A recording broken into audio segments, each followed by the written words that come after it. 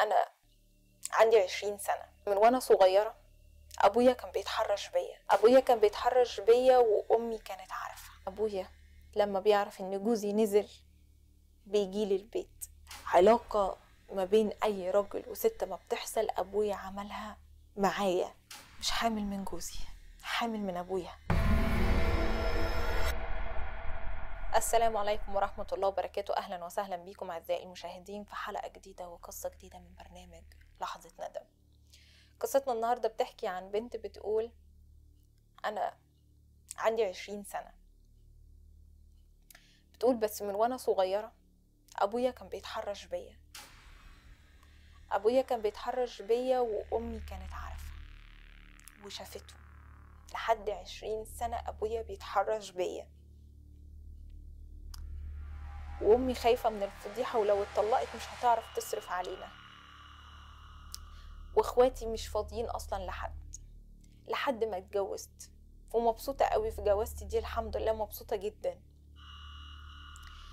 بس ابتدت الكارثة من هنا إن أبويا لما بيعرف إن جوزي نزل بيجيلي البيت. ولما جالي البيت حصل علاقة ما بيني وما بين أبويا وكان شارب وسكران بقى ولا واخد كوكايين وحاجة قرف.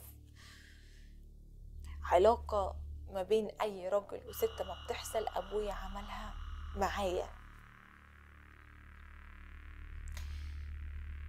حتى العلاقة الخلفية كل حاجة.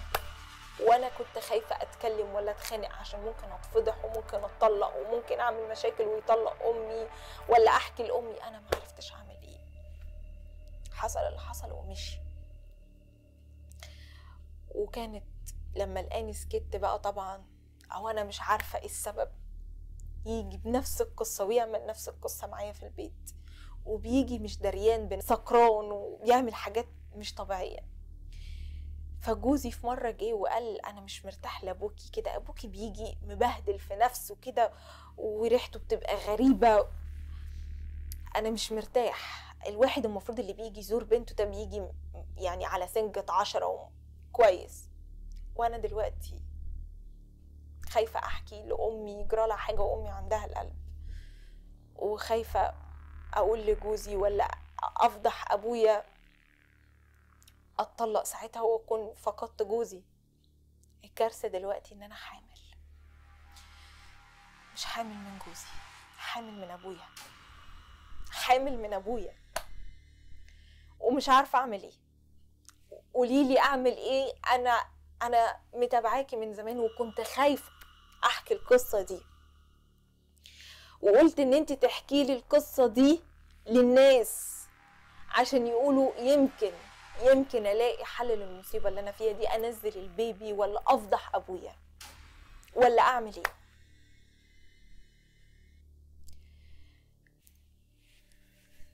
هي مستنية رأينا. مستنية رأي كل واحد. إحنا نقول إيه؟ في الكارثة دي.